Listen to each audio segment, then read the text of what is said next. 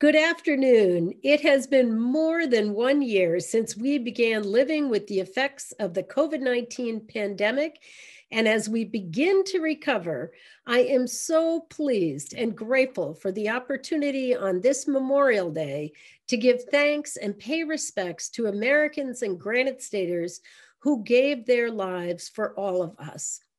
To all of the veterans, active duty service members, and military families, Thank you for your service and your sacrifice.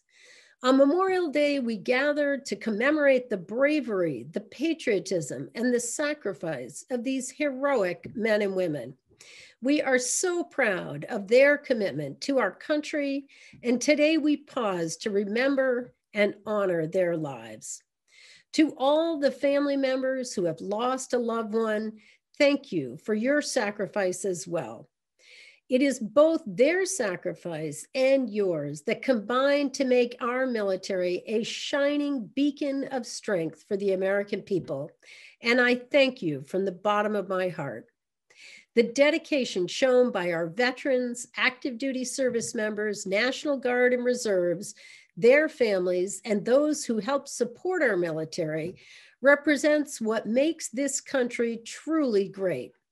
Their commitment symbolizes the unbreakable spirit of fortitude and community at the very core of our nation.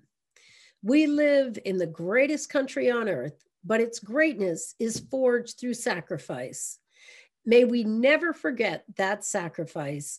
May we honor and celebrate all of our soldiers, sailors, Marines, Coast Guard, and airmen. And may God bless you and the United States of America.